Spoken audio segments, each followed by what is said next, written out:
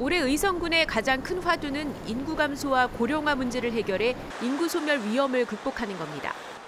안개 일대의 일자리와 주거, 도시 재생을 결합한 이웃사촌 시범 마을을 조성해 청년 인구를 끌어모으는 작업이 본격화됩니다.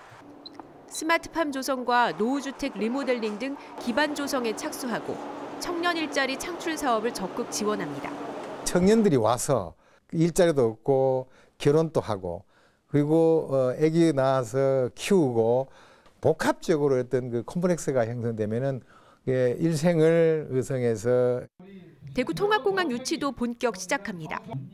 최종 선택은 군민의 몫이지만 인구 유입과 연관 산업 발달 등 지역 발전을 이끌 원동력이기 때문입니다. 군인 소보와 의성 비안 그 어, 공동 그런 어, 후보지가 될 경우에는 이런 상생도 이렇게 시너지 효과를 낼 수 있고요.